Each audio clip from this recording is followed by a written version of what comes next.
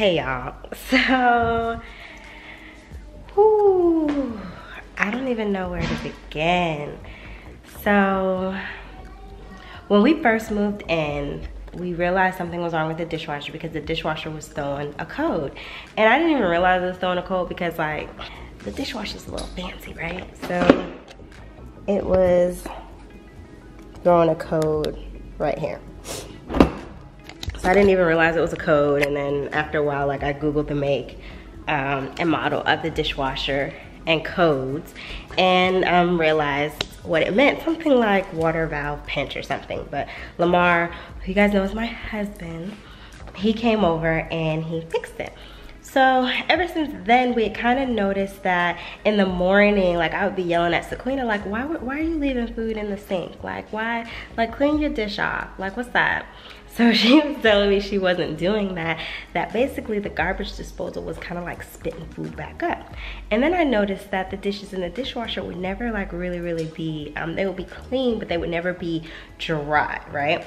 So we dealt with that and one day um, this week, I, oh, and then another thing is that our irrigation system. So the house came with the irrigation system and uh, it has sprinklers built in in the front and the back. And then on the side of the house, we have we have like a little a little box, I guess, where you can input um, the sprinkler system.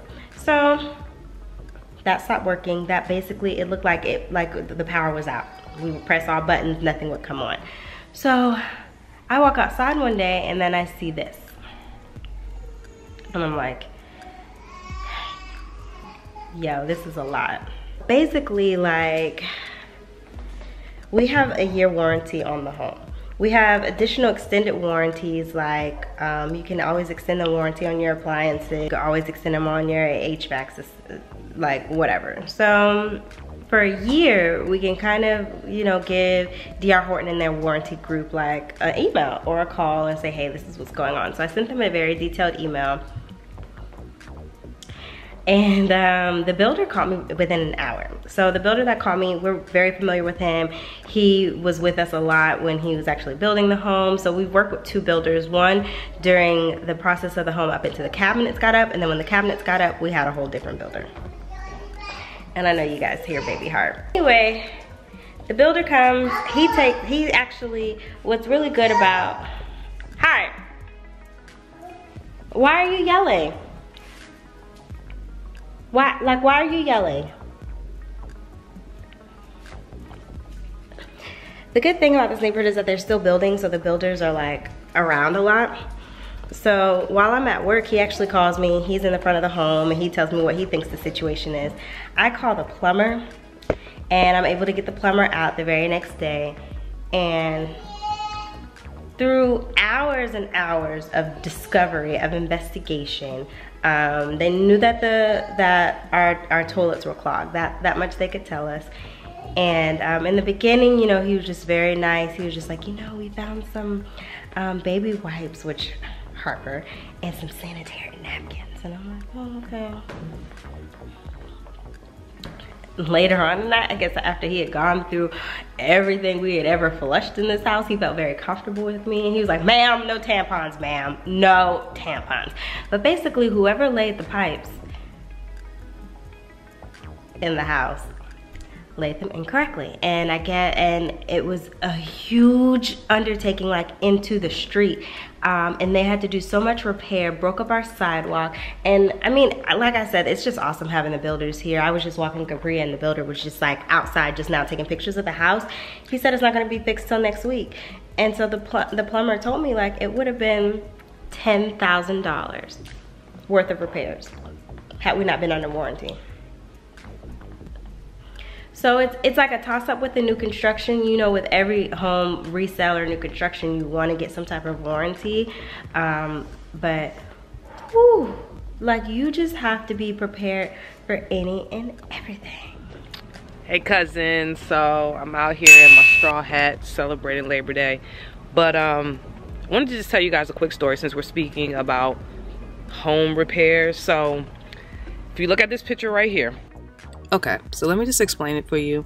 So as you see, the steps are not included in the fence. Therefore, in order for us to get to our actual backyard or for Capria to go outside and play, you would essentially have to come down the steps into the driveway and then to the left of the steps there is an entrance so they separated our backyard so it just made no sense whatsoever when we came to the home which I'm probably sure you're surprised right now, this is how our whole fence and step situation was.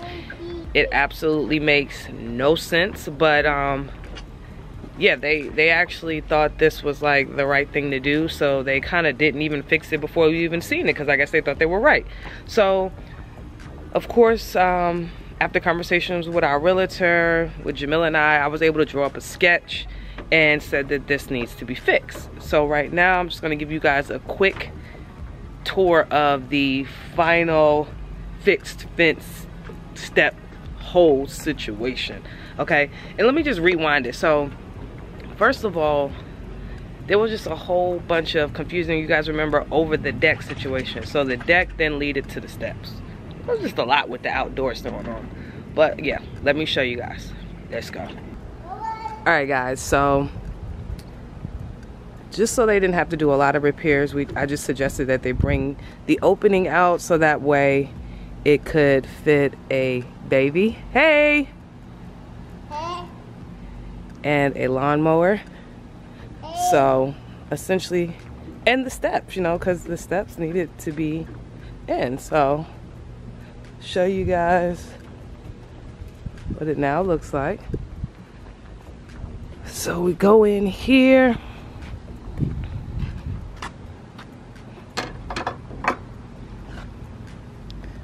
There's a dog. This is kind of the backyard space. We don't know what we're going to do with it yet. Just kind of waiting on our grass to grow. Um, then we have this under the deck area, which I'm going to put mulch and stuff. And then there's a baby.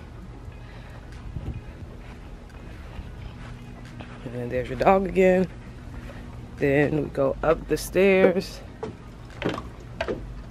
Say hi, cousins. So Harper has her little water table and she's over here playing.